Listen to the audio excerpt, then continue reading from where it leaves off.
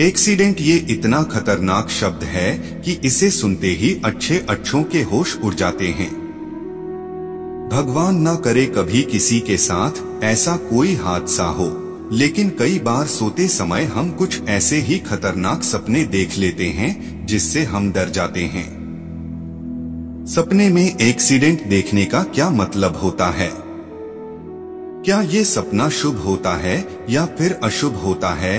ये आज हम जानने की कोशिश करेंगे।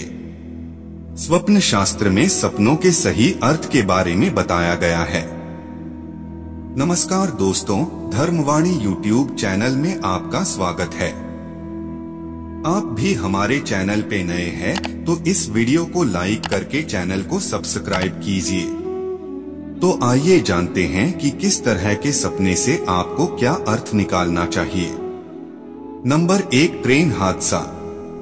अगर आप सपने में किसी ट्रेन का एक्सीडेंट देखते हैं तो इसका मतलब होता है कि आपको भारी आर्थिक नुकसान होने वाला है। आपकी इनकम के फ्लो में झटका लगने वाला है। आपने अगर किसी को उधार दिया है तो आप भूल जाएँ कि वो कभी वापस आएगा। इस सपने को व्यापार में घाटा होने का संकेत भी माना जाता है। नंबर दो, बाइक एक्सीडेंट सपने में देखना। कभी सपने में अगर आपको बाइक से एक्सीडेंट होता नज़र आए तो समझ लें कि आप किसी लड़ाई झगड़े में फंसने वाले हैं। ये सपना आपको सतर्क रहने के संकेत देता है, क्योंकि इस वजह से आपको जेल या जेल जैसे योग बनने के संकेत मिलते हैं। नंबर तीन कार एक्सीडेंट देखना। सेहत खराब होने के संकेत देता है सपने में कार एक्सीडेंट देखना।